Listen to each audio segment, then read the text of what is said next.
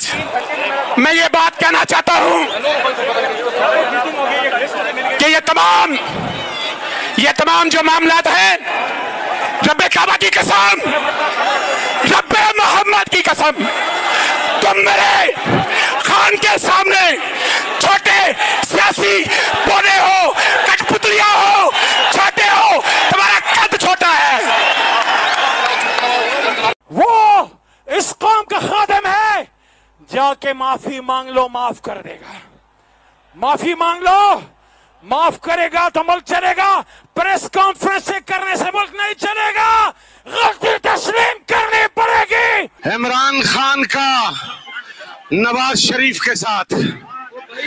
क्या पिदी क्या पिदी का शोरबा जो दो महीने में तरले करके मुल्क से भाग गया वो आज उस लीडर का मुकाबला करना चाहता है, जो एक साल से दस बाय बारह के सेल के अंदर पड़ा हुआ है।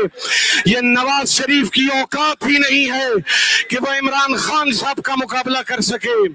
आईजी पंजाब से लेकर राणा सनाउल्ला तक उन सब का एहतसाब होगा, जिन्होंने घरों की इज्जतें पामाल की, जिन्होंने चादर और चार दीवारी के तकदस को पामाल किया। तो एक आखिरी नारा लगा दो। नारा! तकबीर! ऐसे नहीं। ये इन पहाड़ों को चीरता हुआ इस्लामाबाद पहुँचे। नाराय तकबीर! नाराय रिसालत! नाराय हैदरी! पाकिस्तान! पाकिस्तान! मुसलत की जो जिसके आँखों में शर्म आया कोई चीज़ नहीं है। यार आज भी इस पाकिस्तान में आप सत्तर साल से लेकर आज तक देखे, जो इस मुल्क से उबादार है, जो अपने आवाम से वफादार है, जो अपने सरजमीन से उबादार है, वो गद्दार ठहरे और जो चोर है, डाकू है, बदमाश है, वो हुक्मरान बैठे।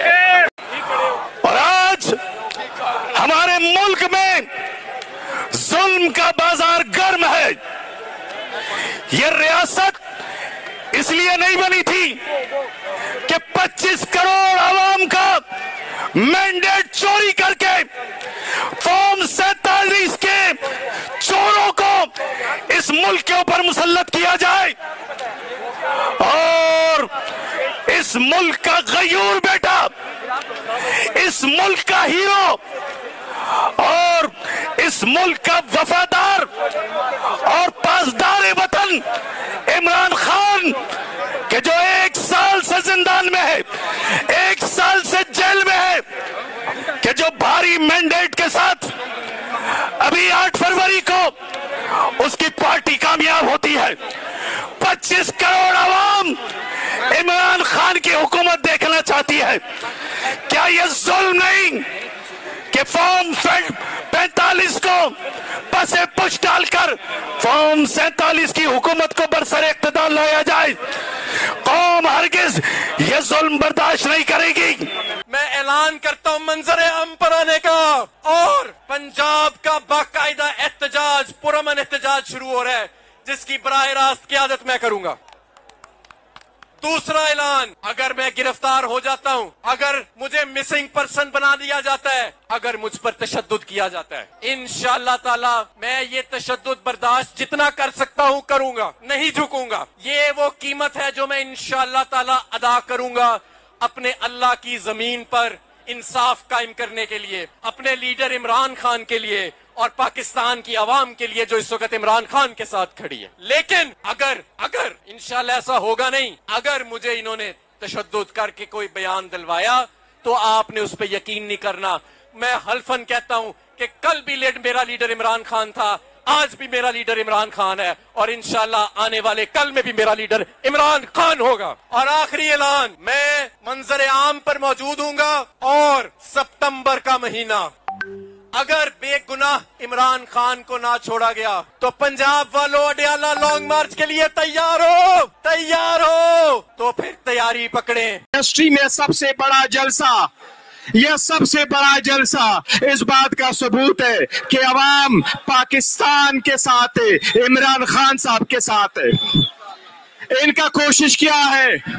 हम एक बात वाज करना चाहते हैं। हमारा किसी के साथ कोई झगड़ा नहीं है। हम चढ़ाई नहीं करना चाहते, हम दावा नहीं बोलना चाहते, लेकिन एक मुल्क में दो कानून नहीं हो सकते। हमारी औरतों पे हाथ उठाओ, हमारे एमएनएस को भी आप जबरी गुमशुदगी करवाओ तो ऐसे दो कानून नहीं हो सकते। अगर यह तरीका रहा तो मुजाहिमत की तरफ़ आवाम जाएगी।